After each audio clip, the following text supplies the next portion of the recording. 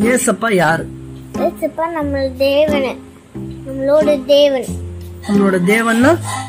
தேவன்னா நம்ம காக்குற தேவன். எப்படி? எப்படி? எப்படி தெரியலையே? ஏசப்பா தேவன் எப்படி சொல்ற?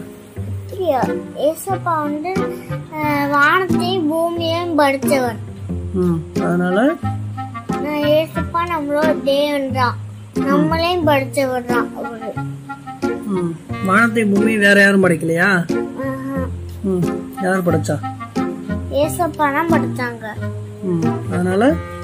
அதனால சாத்தான் பேச்சு யாருமே கேட்க கூடாது சரி ஏசப்பா பேச்சால எல்லாருமே கேட்கணும். சாத்தான் பேச்சை ஏன் கூடாது சாத்தா வந்து அவன். நம்மள அடிமையாக்குறான் அவங்களோட அவனோட அவனோட வேலைக்காரனா ஆக்குறான் அவங்களோட வேலைக்காரனா.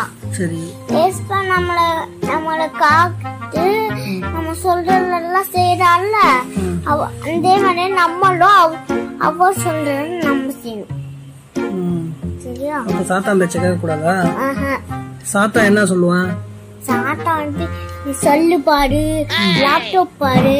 வேற வந்து அம்மா அப்பா சொல்ற கேட்கார வேற வந்து கேம் விளையாடு? அம்மா சில பிடிங்க அப்பா சில பொண்ணு. அப்படிலாம் சொல்லுவான். வேற என்ன சொல்லுவான்? வேற வந்து சினிமா பாரு. அப்படி இப்படின்னு சொல்லுவான். அவன் அவனோட வேலைக்காரனா ம். அழிக்கிறான்